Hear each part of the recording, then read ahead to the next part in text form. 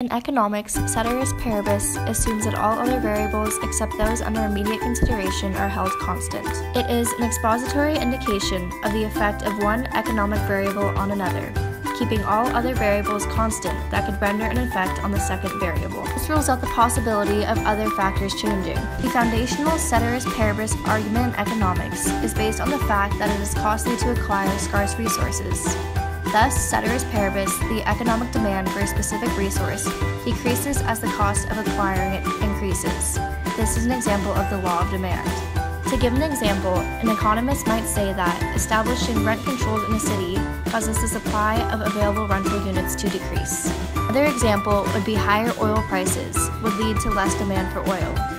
The opposite for this is the phrase mutatis mutandis, which delineates changing some factors that need to be changed. For example, while examining the current price of an item bought five years ago, the concept of mutatis mutandis indicates that all necessary changes, such as inflation rate, have been considered, analyzing the changes of multiple variables affecting one another, whereas ceteris paribus holds other variables, such as inflation, constant.